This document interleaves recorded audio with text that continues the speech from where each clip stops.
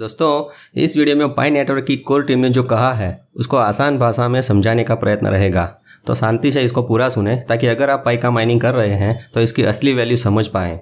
जो लोग नहीं जानते कि पाई नेटवर्क क्या है वो इस मेटामित्र चैनल के पाई नेटवर्क प्ले के पहले वीडियो से देखना शुरू करें। मेटामित्र चैनल में आपका स्वागत है। Hello, Hi, pioneers. This video will be introducing Pi's apps platform. यह वीडियो पाई एप्स प्लेटफॉर्म के बारे में है। आइए देखें कि हमें एप्स प्लेटफॉर्म की आवश्यकता क्यों है। दूसरे चरण का लक्ष्य पाई नेटवर्क की स्ट्रेटेजी की चर्चा करते हुए पाई की वैल्यू का निर्माण करना था। समय के साथ इसकी वैल्यू बढ़ेगी। दुनिया में पाई नेटवर्क की उपयोगिता बढ़ाने के लिए कुछ नई एप्लीकेशन बनाने की आवश्यकता है। लोगों को बड़े पैमाने पर उत्पादनों के आदान प्रदान के लिए पाई खर्च करने में सक्षम बनाना है। चाहे वह एंटरटेनमेंट हो या गुड्स एंड सर्विस को खरीदना और बेचना हो। ट्रेडिशनल इकोनॉमी की तरह इसे भी एक संपूर्ण इकोनॉमी बनाने का उद्देश्य है। पाई नेटवर्क की छोटी टीम द्वारा दुनिया की सभी एप्लीकेशन बनाना असंभव है। इसलिए प्लान ये है कि पाई एप्स प्लेटफॉर्म के माध्यम से पाई के इकोनॉमी विकास को डिसेंट्रलाइज करना है। उदाहरण के लिए, यदि पाई लेन की सुविधा और स्केल को बढ़ाने के लिए अगर पाई मार्केट प्लेस की ज़रूरत है तो दुनिया की कोई भी कम्युनिटी या कंपनी बाजारों की ज़रूरत के हिसाब से अलग अलग पाई ऐप बना सकते हैं। जो दुनिया के देश और भाषाओं के अनुसार भिन्न भिन्न हो सकते हैं. जो कंपनियाँ पहले से e commerce logistics supply chains gaming real estate और फाइनेंशियल सर्विस में अपना स्थान मज़बूत कर चुकी है उनको पाई ब्लॉकचेन या पाई के प्लेटफॉर्म पर ऐसी कोई स्पेशल ऐप बनानी हो या इंटीग्रेशन करना हो तो पाई की एक्सपर्ट टीम उस पर भी ध्यान केंद्रित करेंगी प्लेटफॉर्म के अलावा पाई की टीम केवल कुछ मेन मेन पाई ऐप बनाएगी जो पाई के विजन और पाई की कम्युनिटी बढ़ाने में सबसे ज़रूरी है।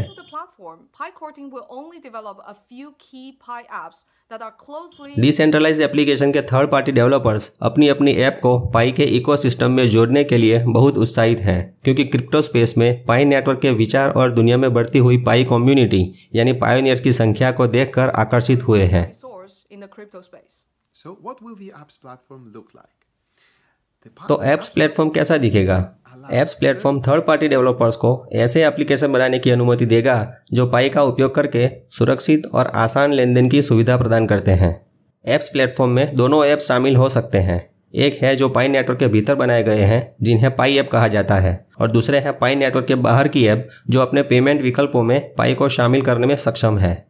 पाई ऐप को पाई इंटरफेस में होस्ट किया जाएगा। उदाहरण के तौर पर फेसबुक ऐप मैसेंजर ऐप या वी चैट मिनी प्रोग्राम जैसे पाई ऐप्स भी होंगे। पाई इंटरफेस के भीतर होस्ट किए जाने वाले संभवित पाई ऐप्स की कुछ कैटेगरी में पाई की फाइनेंशियल सर्विस ऐप्स भी शामिल हैं। इसको ऐसे समझें कि लोग पाई की लोन दे सकते हैं, जिस पर ब्याज मिलेगा। लोग पाई की लोन ले सकेंगे। पाई से इंश्योरेंस ले सकेंगे। पाई का क्रेडिट कार्ड भी हो सकता है। तो ये ऐसे एप्लीकेशन हैं जिससे पायोनियर्स डिसेंट्रलाइज्ड फाइनेंस की उभरती दुनिया में प्रवेश करेंगे। और हमने पहले ही डेवलपर्स से ऐसी ऐप बनाने के लिए बात की है, ताकि पायोनियर्स अपने पाई से रियल एस्टेट के साथ साथ एप्पल गूगल जैसी कंपनियों के शेयर भी खरीद सकें। हमारे पास उच्च सोशल मीडिया ऐप्स हो सकते हैं, इसलिए यह पेटीएम गूगल पे फ़ोन पे ऐसे ऐप्स हो सकते हैं, जिससे लोग पाई के लेन देन कर सकेंगे। इनका व्हाट्सअप और मैसेंजर जैसी एडवांस चैट सिस्टम बनाने का भी प्लान है। और भी एक अलग कैटेगरी पाई मार्केट प्लेस है।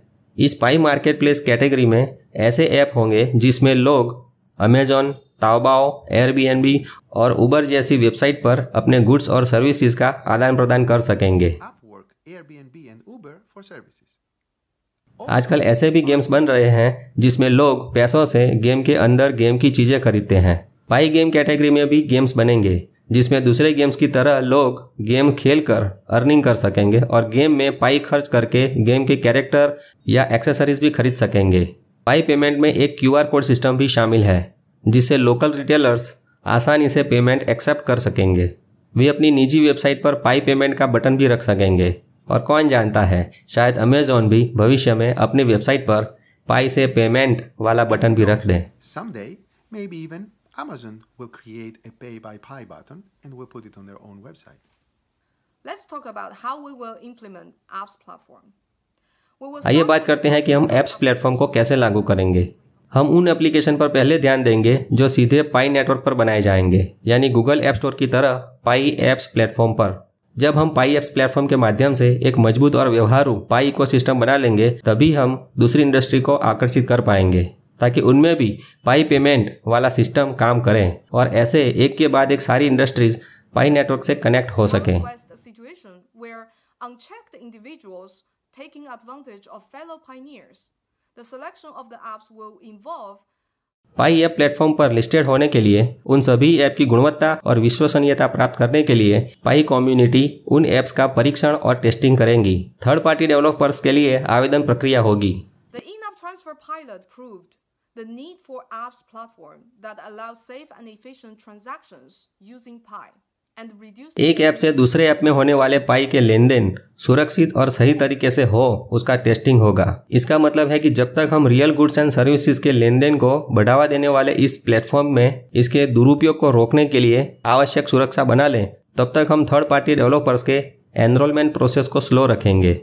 हम पाई डे के बाद के प्रोसेस को बढ़ाएँगे। क्योंकि दूसरे पाई प्रोग्राम्स में भाग लेने के लिए केवाईसी ज़रूरी होगा। के होने से पाई नेटवर्क में सिलेक्शन होने की संभावना बढ़ जाएगी। इससे पाई एप्स प्लेटफॉर्म में अधिक ऐप लॉन्च होंगे। पाई नेटवर्क में नोड्स को चलाने के लिए पायोनियर्स का केवाईसी होना भी आवश्यक होगा। हम अपने अगले वीडियो में नेटवर्क नोड के बारे में बात करेंगे और ये भी बताएँगे कि पाई के लिए क्या महत्वपूर्ण है। तो दोस्तों, उम्मीद है कि पाई नेटवर्क की कोर टीम ने पाई ऐप स्टोर के बारे में जो बताया, उसकी थोड़ी बहुत जानकारी मिली होंगी। तो नया नया जानते रहें और मेटा मित्र से जुड़े रहें मेरा मित्र मेटा मित्र जय हिंद जय Bharat We will present an update on the node in our next video and why it's important for Pi.